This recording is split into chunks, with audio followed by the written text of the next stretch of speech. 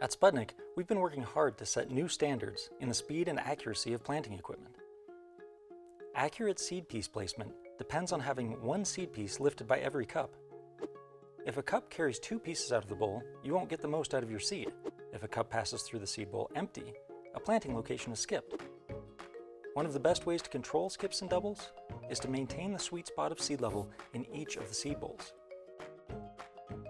The current systems use an ultrasonic sensor to tell the planter whether each seed bowl is full.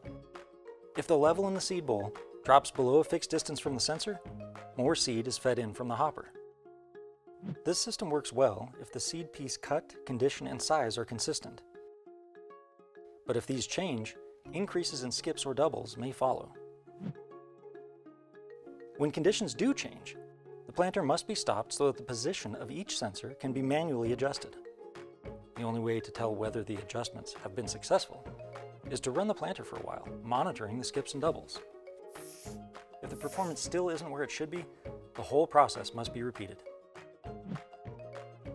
Spudnik's latest technology allows the fill level for each row to be adjusted electronically from the control panel in the tractor. This allows the operator to change seed levels on the fly, improving planting accuracy without ever stopping the machine. At Spudnik, we are constantly innovating to provide our customers with the best equipment. And don't you think you deserve equipment that works as smart and as hard as you do? We think so too.